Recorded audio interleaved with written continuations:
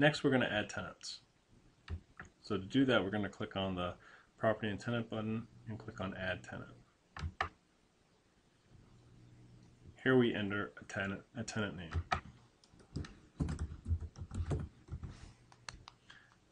We then associate it to a property and a unit number. We enter the the rent amount, when the rent is due, and what account that rent is deposited to. You can then add contact information if you choose, terms and agreements. This is a month to month. This is a one year lease. If it is a one year lease, what is the start and end date? If there is a grace period for, for uh, rent payments, add how many days and what late fee you associate or have assigned to that lease. Enter the move-in date.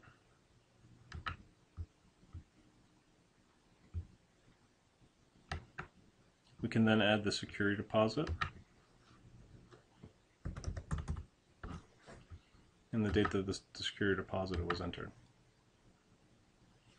We then click OK.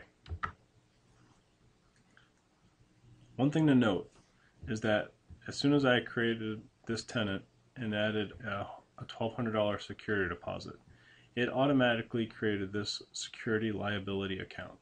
This keeps track of uh, your security deposit liability because even though that amount is will be deposited into your checking account, uh, it is not considered a uh, a gain. It's it's money that you owe back to your tenant. So we also want to, since we collected that $1,200 security deposit, we want to enter that into the register. I'm going to click on here uh, under my rental property checking account um, to one. I'm going to add a tenant one security deposit.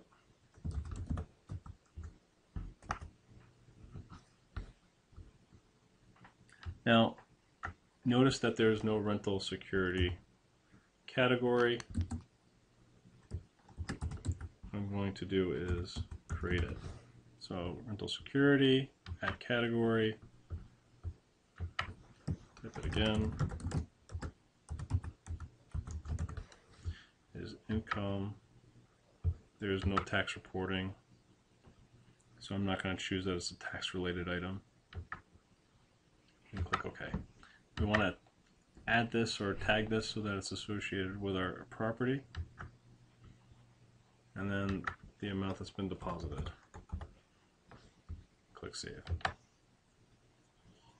So now we can see that our rental property checking account has 3200 in it. There is a liability that we owe to the tenant of $1,200 and that our net worth is back down to 127,000. Let's click back on rental property. And let's add some more tenants. Same process. 2.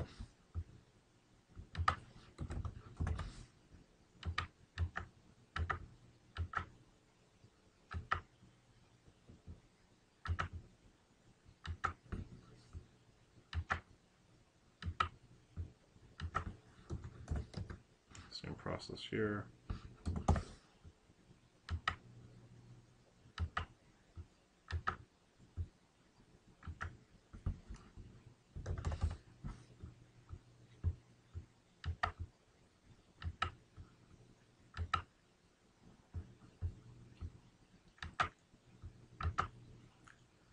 Add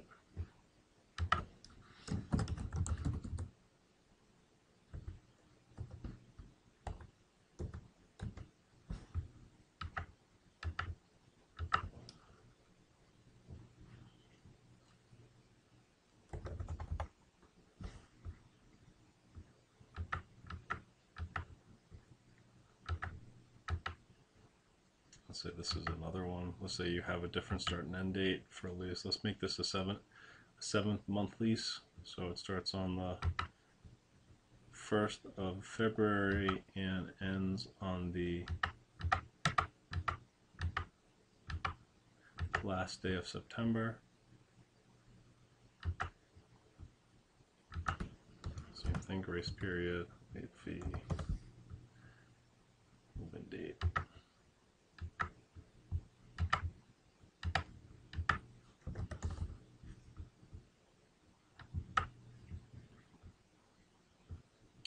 Oops, now look at that. I associated this tenant to the wrong property. So what do I do? I, click on the tenant's name and then I change the property that it's associated to. Click OK. And there it automatically associated to the to the other unit. So as you see I added uh, some more uh, uh, tenants. Um, my liabilities have increased. As you can see, I have two more $1,200 security deposits, so I need to add those into my uh, register.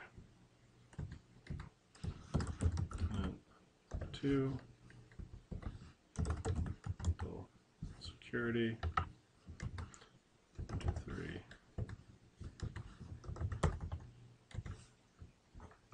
Save.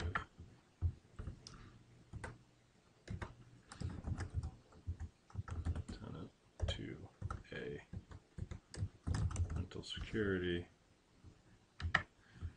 And you can choose to enter uh, uh, if you want to keep the um, security deposits associated with the unit itself. You can uh, choose the sub tag. It will, for reporting purposes. When you report off of 123 Smith Street, you can choose to report off of these sub tags as well, so that you grab all all uh, income and expenses with with a property, whether it's associated to a unit or not.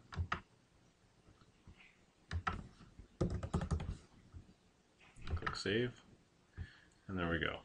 Our net worth is the same as, as we started. Uh, there's no difference or change. So that's it. That's how you add uh, tenants to Quicken 2013 Rental Property Manager.